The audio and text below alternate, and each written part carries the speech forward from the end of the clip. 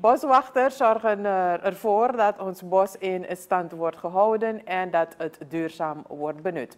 Stanley Betterson, directeur van de Stichting voor Bosbeheer en Bostoezicht SBB, toonde vandaag zijn dankbaarheid voor het werk van de boswachters aan de vooravond van de viering van de Internationale Dag van de Bossen op 21 maart. Wat jullie doen is niet om het salaris maar om ons bos, het Surinaams bos, in stand te houden voor generaties. Vandaar dat al die richtlijnen er zijn.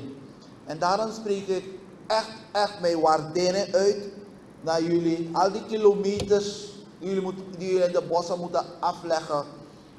Al die contactmomenten met concessionarissen waarbij het niet altijd even prettig is om je werk altijd te doen. Maar jullie blijven stand houden Suriname staat bekend als het land met de meeste bosbedekking ter wereld. We praten over 93%. En dat is toch niet niks. Het is heel veel. Suriname, het bos van Suriname maakt deel uit van het Amazone-oerwoud. En uh, wanneer we over het Amazone-oerwoud praten, dan praten we ook wel over de longen van de aarde.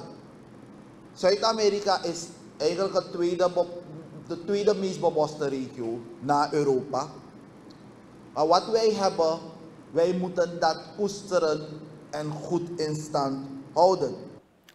SBB kampt met vele uitdagingen. Eén daarvan is dat er dringende bewustwording moet komen over het illegaal vellen van bomen.